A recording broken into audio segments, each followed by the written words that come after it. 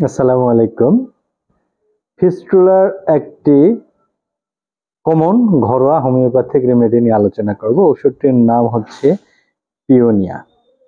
Paeonia খুবই common এবং অত্যন্ত কার্যকরী স্পেশালি এটি অতি দ্রুততার সাথে ফিস্টুলা বা ফিস্টুলার ক্ষত, পুজ এগুলো নিবারণ করতে পিওনিয়া খুবই চমৎকার। একটি পাওয়ার পটেন্সির সাথে পিওনিয়া মাদার টিংচার ভালো কাজ করে। এটি সাধারণত যে লক্ষণে দেয়া হয়, জ্বালা পোড়া থাকবে এবং চুলকানি থাকবে। যদি ফিস্টুলাতে গুহদ্বারে চুলকানি থাকে এবং সেই সাথে জ্বালা পোড়ার উদ্রেক থাকে, এই ক্ষেত্রে পিওনিয়া মাদার টিংচারটি সাপোর্ট হিসেবে দিলে খুব দ্রুত এবং অল্প সময়ের মধ্যে ফিস্টুলা বা ভগন্দর ভালো হয়ে যায়।